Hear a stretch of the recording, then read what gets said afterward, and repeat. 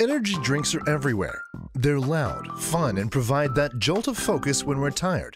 They're also insanely popular. You'd be hard-pressed finding anyone who hasn't tried one. But what's inside your favorite bottle of energy drink? Do you know what it's doing to your body? Let's find out. Hello and welcome to my channel, where we share videos about all things puberty.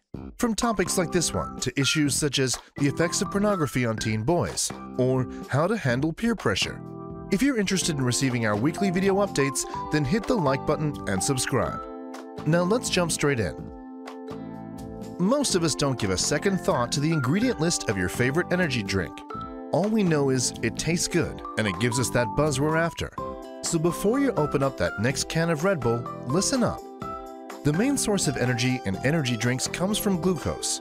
However, unlike a can of Coke, these drinks often add in a wide range of puzzling ingredients most of which we know very little about. We've all heard of caffeine. That's the main culprit in energy drinks. But have you heard of taurine, guarana, or ginseng? They're naturally occurring stimulants, and they're just a few of the chemicals added to help boost energy.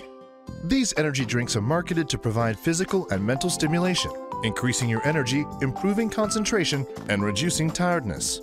For this reason, many teens take energy drinks when partying or to keep them awake for late night studying.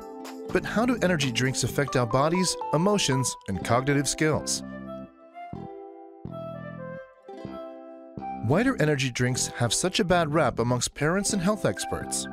Research has shown that drinking energy drinks can harm young people's physical and mental well-being. But that's not all. Studies have found that the consumption of energy drinks also encourages risky behavior such as alcohol use, dangerous driving, or risky sexual behaviors, so you may want to think twice before taking another sip. In fact, the American Academy of Pediatrics advises that children should not consume energy drinks at all. That's in addition to the World Health Organization warning that they may pose a danger to public health. So what's so unsafe about them? As we already mentioned, most energy drinks contain large amounts of added sugars, but there's also caffeine, vitamins, along with natural stimulants such as taurine, an amino acid naturally found in fish and meat, guarana, a caffeine-containing plant from the Amazon rainforest, or L-carnitine, a substance that helps our bodies turn fat into energy. If all of these compounds are natural, sure it's safe, right? Well, not exactly.